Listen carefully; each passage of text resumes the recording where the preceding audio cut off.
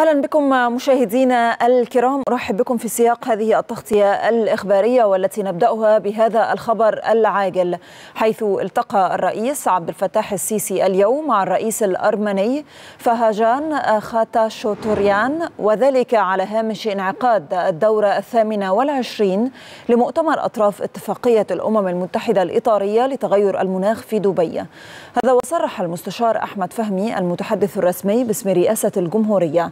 أن الرئيسين أكدا على ما تتسم به العلاقات المصرية الأرمينية من خصوصية تاريخية على المستويين الرسمي والشعبي حيث تم التوافق بشأن ضرورة تعزيز الجهود القائمة لدفع مسيرة التعاون المشترك بين البلدين خاصة على الصعيد السياحي والثقافي والتجاري والاقتصادي والأمني إلى جانب التباحث بشأن أبرز تطورات القضايا الإقليمية ذات الاهتمام المتبادل في منطقتي الشرق الأوسط وجنوب القوقاز.